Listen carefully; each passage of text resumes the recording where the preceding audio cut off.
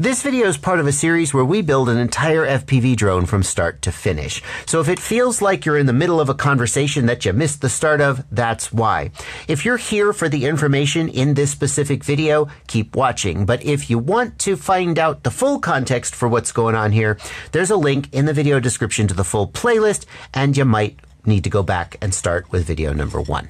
In this video, we're going to be installing the DJI O3 Air unit in our quadcopter and getting it bound and working with our DJI goggles. If you're using the analog video transmitter or the Walksnail video transmitter, then the steps in this video aren't for you. Uh, you can still watch it. That's your call. But there are videos in the playlist in the video description specifically for your video transmitter. And the good news is that this plug right here means you don't have to do any soldering to get this installed, unlike those other video transmitters. Because DJI is such a freaking 500 pound gorilla of a powerhouse in this industry that the flight controller comes with a plug just for the DJI transmitter and nobody else.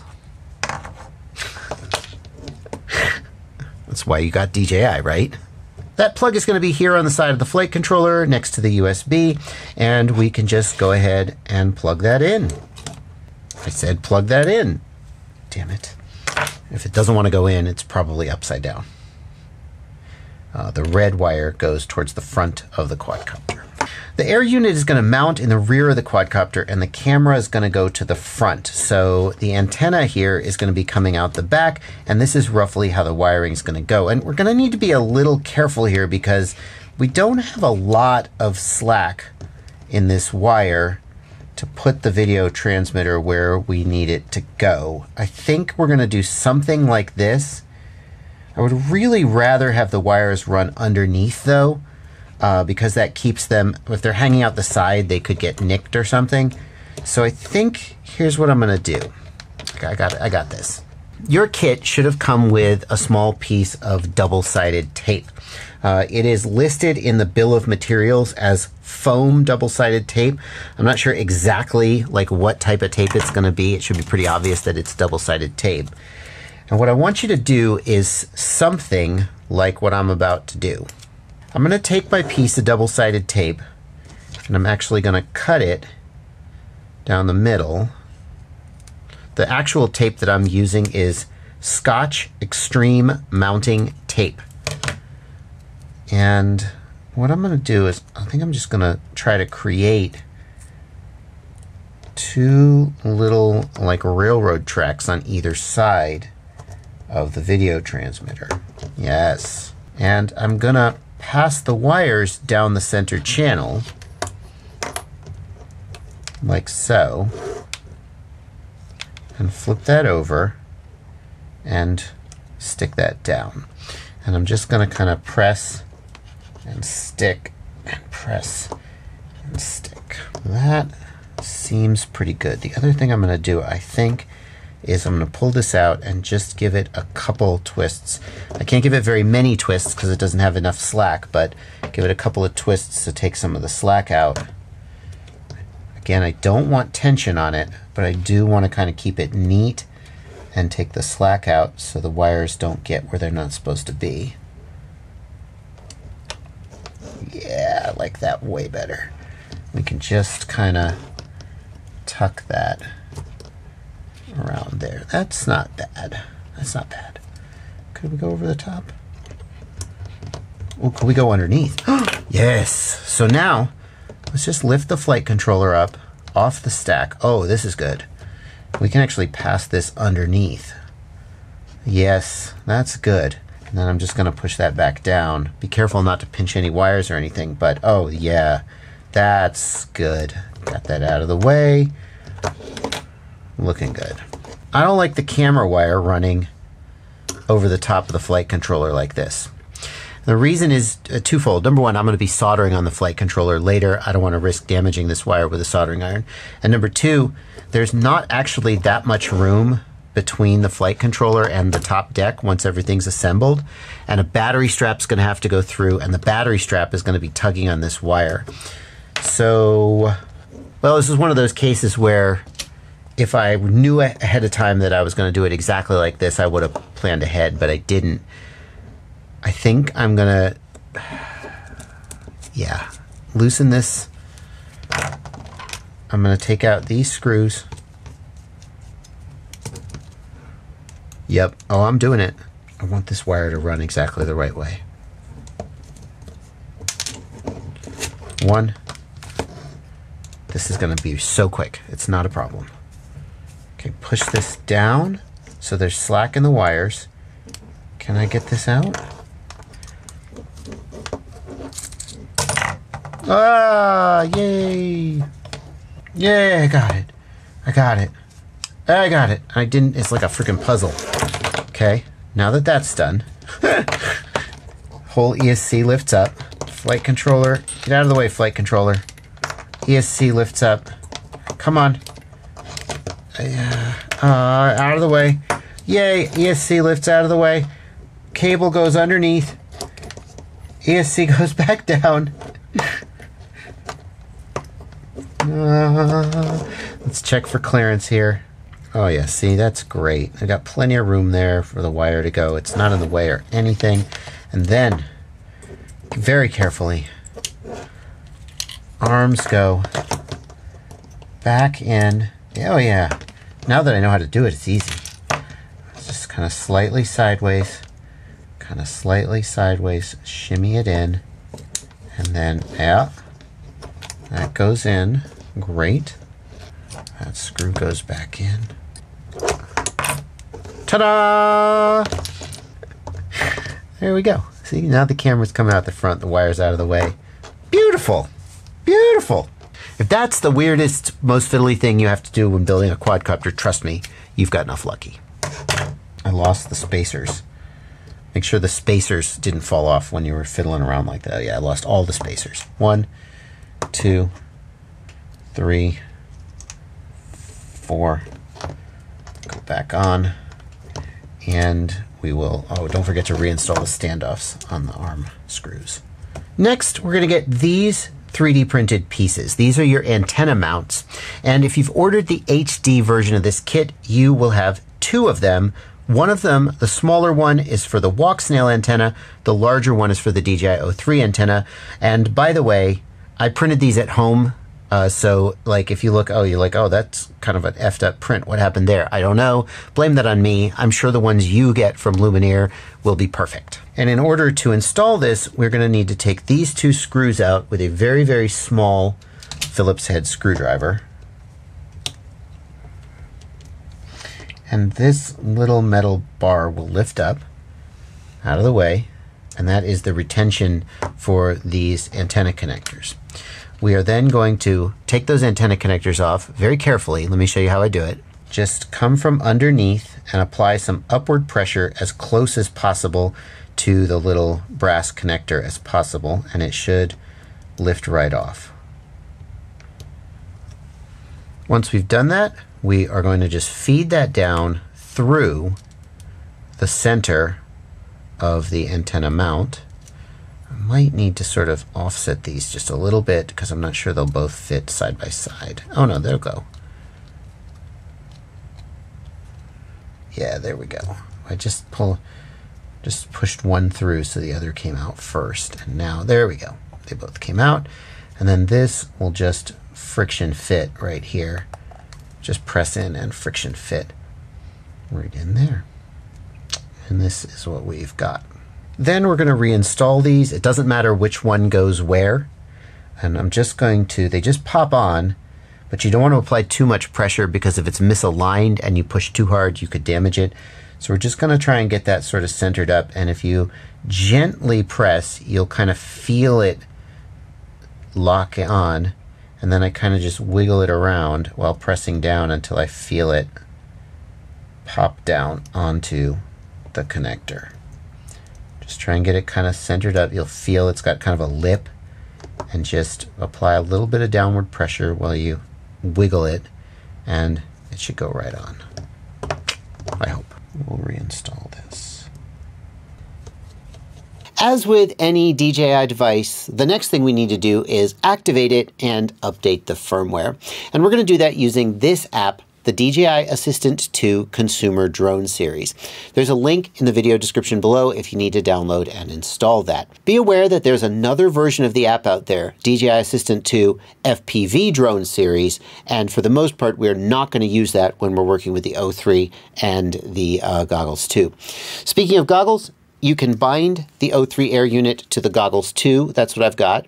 If you've got the goggles Integra, everything I'm going to show you is going to be the same except for one small thing uh, that I'll talk about when we get there. And I'm also going to show you how to do it with the V2 goggles if you have the V2 goggles. All of them will bind to the O3 Air unit.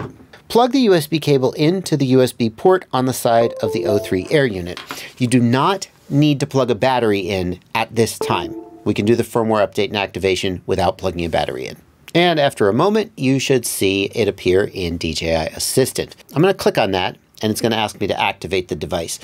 Yours may or may not ask you to activate the device. Sometimes they seem to be shipped from the manufacturer or from the, from the vendor pre-activated. If it doesn't ask you to activate it, great, it's already activated. Once you've got it activated, the next thing to do is update the firmware. You will need an internet connection to download the firmware list. And you can see here the latest version at the time that I'm recording this is 01020000. Go ahead and update to that latest version. If yours is already on the latest version, you can skip this part.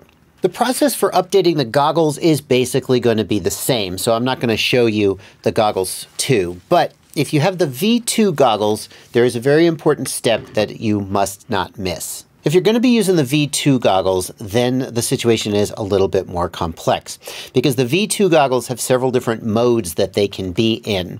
One of the modes allows them to bind to the O3 air unit, and that's what we want.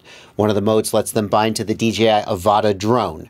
There's a mode that lets it bind to the DJI FPV drone, and there's a mode called the Digital FPV System mode that lets it bind to the older air units like the Caddx Vista. So there are four possible modes that the goggles could be in. If your goggles currently are able to bind to an O3 air unit, like this isn't your first O3 air unit, then you're fine. In fact, they're probably already on the latest firmware and you're good to go. But if you have previously been using your V2 goggles with the older air units like the Caddx Vista, there are a specific set of steps you need to go through to make sure that your firmware update is going to go successfully. And what you need to do is go into the goggle menu and go to Settings, Device. And I want you to look there and see how many options you have for switch to such and such a mode.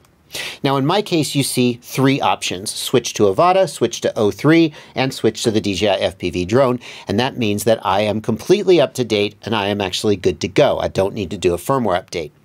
But if you look there and you only see the option switch to DJI FPV drone, you need to do a firmware update. And what you need to do is you need to switch to DJI FPV drone. And then after you select that menu option, power cycle your goggles and they will power up in DJI FPV drone mode. Once the goggles are in the DJI FPV drone mode, plug them in, do the firmware update, and after you do that firmware update, you should have the ability to then switch to the O3 and the Avata mode. We want the O3 mode, but it's the same firmware update that unlocks the O3 and the Avata. Um, that's what we need. We need the goggles to be in O3 mode in order to bind them. Incidentally, if your V2 goggles have a very old firmware on them, the Consumer Drone Series app may not recognize them. In that case, you will need to go and download the DJI FPV series version of the Assistant app. Perform a firmware update in the DJI FPV version, and then come back to consumer drones and use and do another update to make sure you're on the latest firmware. Thanks, DJI. It's so simple. So easy to use. So now here I am in the DJI FPV drone mode. I've just finished doing all my firmware updates. And if I go settings, about, I have switch aircraft model. And there I can switch to the O3 mode. And that's what I'm going to need to do. From here on out, almost everything I tell you is going to be the same, whichever set of goggles you're using, the Goggles 2, the Integra, or the V2 goggles. The next thing I'm going to need to do is power up the goggles and power up the air unit. I'm going to power up the goggles first because the air unit has a tendency to get hot And so I'm going to want to leave it powered on as little as possible. Once the air unit finishes powering up, I will have a red LED here, meaning it is not bound. The bind button is just below the LED. You can just barely see it. And I'm going to press that with a paper clip. And when I do, the red LED will begin blinking. Then I'm going to press the bind button on my goggles. And on the goggles 2, the bind button is right here in between the two eyepieces. And at that point, we should have picture in the goggles. On the V2 goggles, the bind button is right here next to the power plug. And on the goggles Integra, and I'm sorry, unfortunately I don't have one to show you, there is no separate bind button. You long press the power button to activate binding. There is one more thing we need to do to get the full performance out of our O3 air unit. If I go into the menu and I go down to transmission, I want you to notice that my channel mode is set to manual. Yours is probably set to auto, and that's okay. But if you did set yours to manual and go down with a bandwidth of 40 megahertz, you would only see one channel, but I have three channels. I have more channels available to me than you do because you haven't done the ham unlock yet. In order to do the ham unlock, we're going to download this file from the beyond.d3vl.com website. We're going to open that zip file up, and in it is a file named ham underscore cfg under support. You can also just create this file by yourself. It's just an empty file with no extension and no contents named ham cfg support. Next, we're going to put an SD card inside the goggles, or if you already have one, that's fine too. But we want an SD card that has been formatted inside the goggles. So we'll go to Settings, Camera, Format, Goggles SD card, confirm. Then we will put that SD card into our computer and we will drag that file onto the SD card like so. We will then put the SD card back in the goggles and power cycle the goggles. After we've done that, if we then go into the goggles menu and go to transmission, set the channel mode to manual and the bandwidth to 40 megahertz, we should see that we have three channels available. If that's the case for you, then this unlock was, uh, was successful. Technically, if you live in the European Union, you are not supposed to do this. Practically, that decision is between you and your priest or lawyer, and you will get better performance if you do this. I would like to say that if you don't know about setting your own channels and so forth, it's better to leave the channel mode on auto and let the DJI system handle uh, interference avoidance for you but you will still get better performance by doing the ham unlock, whichever decision you make. At this point, you certainly could go fly, but there's another piece of setup that I think is really, really important to do, and I wouldn't be doing my job if I didn't show it to you, and that is to set up the on-screen display. So the uh, DJI O3 has the ability to talk to the flight controller and read information from the flight controller and then display it in the goggles. And that's really useful. Like imagine driving your car, but you don't have a fuel gauge to tell you when the tank is going to be empty. Well, I, I, actually know people whose car has a broken fuel gauge. And that's not the point. It's not good, is my point. You want to know stuff like that, and the on-screen display is how you know it. Uh, in order to set that up, I'm going to need to leave this air unit running for a bit, and since I don't want it to overheat, I'm just going to plug in this little USB fan, and you're going to hear that fan blowing, but it, it, you'll be okay. Let's plug USB into the flight controller, not the O3, the flight controller. And we'll start up Betaflight Configurator. Betaflight Configurator is the app that we're going to use to configure the flight controller. And if you've never installed it before, I have a separate video that will take you through all the steps of downloading and installing Betaflight Configurator. This is the kind of thing that is perfectly encapsulated in that video, and some people will have already done it and won't need me to explain it. So I'm not going to break it out separately and explain it here. I'm going to refer you to that video. It's linked in the video description below. Uh, so pause this video if you need to. Go watch that. Get Betaflight Configurator installed. If you got to get your drivers sorted out or any of that nonsense, it's all in that video. And then come back here and we'll both be looking at Betaflight Configurator and be ready to go. And I'm going to look up here in the upper right hand corner of the screen and I'm going to plug USB into my flight controller and when I do that this little pull down here should change to a new serial port. In my case COM3 appeared. Uh, that's going to be our flight controller and we're going to hit connect. Failed to open serial port. What's what? Oh, I know, I know. If you have DJI Assistant running, it grabs the serial port and doesn't let Betaflight Configurator have it. Make sure you've closed DJI Assistant before you try to connect. Yes. Connect. Yay! And the simplest way to set up the O3 air unit with a Betaflight flight controller is actually to go to the presets tab. There is actually a preset that will do all the configuration for us. What we're going to do is we're going to search right here in the search box and we're going to search for O3. And we should find this preset, OSD for FPV, WTF, DJI-O3, Avatar HD. We're going to click that and then we're going to choose these options. We want map to DisplayPort enabled. We want set HDOSD enabled. And the last thing we need to know is which UART number this, this air unit is connected to. Uh, a UART is, it stands for a long computer thingy that nobody says out loud. So we're just going to call it a UART, U-A-R-T. And a UART is kind of like a USB port on your computer in that like you plug your mouse into it, you plug a peripheral into it. In this case, the peripheral that is connected to the UART is the air unit and it's going to use that UART to talk to the flight controller about the information it needs to draw the on-screen display in your goggles. Uh, the flight controller has several different UARTs. If we close this here and we go to the ports tab, we can see there are six available UARTs and each of them is going to be used for some different peripheral that we're going to connect to the flight controller. Uh, but we don't know which UART number the air unit is connected to. And we especially don't know that because normally when you wire up a peripheral, you solder the wires. The peripheral will have a TX and an RX wire and you solder those wires, transmit and receive to the TX and the RX pads on the flight controller. And those pads are labeled TX1, TX2, TX3, and that number corresponds to the UART that you've connected to. So normally, you would solder your wires to the flight controller and you would know what UART number you had soldered those wires to. But in this case, we connected the air unit to the flight controller with a plug. And we don't know what UART number that plug corresponds to. So we're going to go to the product page and we're going to look at the user manual. And thankfully there is a user manual, which you can't always take for granted that there will be one, but there is one this time. and it's going to show us. Ah, here we go. DJI plug. Here on the underside of the board, we've got the breakout for the DJI plug, and we can see DJI, it's 10 volts ground, TX3 and RX3. That tells us that our air unit is on UART 3. So we're going to go back to the presets tab. We're going to find our O3 preset. We're going to choose UART 3 and then we're going to pick and save and reboot. It turns out that that preset doesn't quite completely configure what we need configured, so there's something we're going to have to put in manually.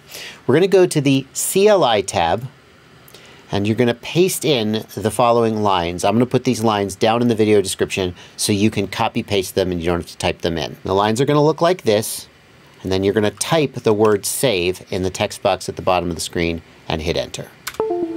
The next thing I want you to do is go into your goggles and go into the menus, go down to settings and display, and you should see there an option for canvas mode. Change that canvas mode option to HD. You will need to have your air unit on and bound and working in order to change that option. Otherwise, it'll be grayed out. At this point, you can turn on options here in the OSD, like battery voltage. You can turn that on, and when it appears in screen in Betaflight Configurator, it should also appear. Um, I'm actually going to give you a sample layout that I like to use. Again, it'll be down in the video description below, and you can copy paste it in. Let me show you how I do that. Here in the CLI tab, I'm just going to click in the text box here and paste that stuff in, and then type the word save. And when you do that, you should see a whole bunch of additional information in the screen of your goggles. If you don't like that, feel free to go back to the OSD tab and you can click these check marks to turn any of these things off. You can drag them around and put them wherever you want. You can personalize it to your heart's content. The next thing to do is to mount the camera in the frame. And in order to do that, you're going to install it between the two camera side plates as shown here. Please note carefully exactly which screw holes have been used. The camera plate have several uh, screw holes because the dimensions of different cameras are different and the placement of the camera is actually important. You see, if the camera stuck out too far to the front, then these metal side plates wouldn't be able to protect it in a crash. But if the camera was too far to the inside, then the side plates would obstruct the view of the camera and that wouldn't be good either. So we want the camera installed so that it is even with or maybe just a little bit behind the side plates and these two holes do exactly that. The reason for the curved bottom uh, hole is that it lets us change the up tilt angle of the camera. We're going to talk more about up tilt angle later in the video.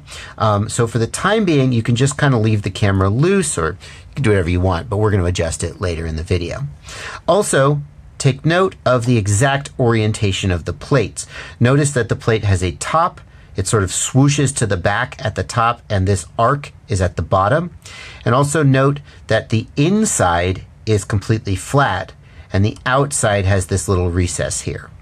Once you've got this installed exactly as I show here, you can press the tabs on the bottom of the side plates into these little slots on the frame.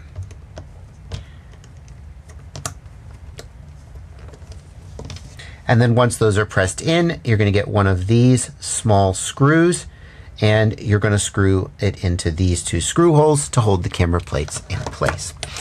I have one more little tip for you as the owner of an O3 Air unit that isn't directly related to this series, but I, I just would not feel like I'd done my job if I didn't warn you. The O3 camera lens is really big and really easy to scratch, and the frame does its best to protect it, but it, it can't do everything. I strongly recommend that if you fly the O3 Air unit, you invest in a set of, well, this is a full set of ND filters, which is a thing that cinematic professionals use to get c- cinematic professional looking video. But what you really want, and you can buy this separately and by itself, you just want the clear protective filter and it pops right onto the front of the O3 camera. Buy several, they will break, they will get scratched, and you will be really glad that you're, because you can't get the lens to the O3 camera separately. You have to replace the entire camera and it's like a hundred bucks. This is an investment well, well worth having. I'll put a link in the video description where you can pick it up. So to recap, we have installed our O3 Air unit, installed our camera, plugged it into the flight controller, activated and updated firmware on everything, and then set up HD OSD in the flight controller so we can have all the information that we need on screen in our goggles. At this point, head on back to the playlist linked in the video description below, or a card will appear here on screen in just a second, and find the next video that applies to you. That's going to be, well, the next one is going to be me installing the Walksnail video transmitter, so you're probably not going to watch that, and it'll probably be whatever the video is after that. See you there.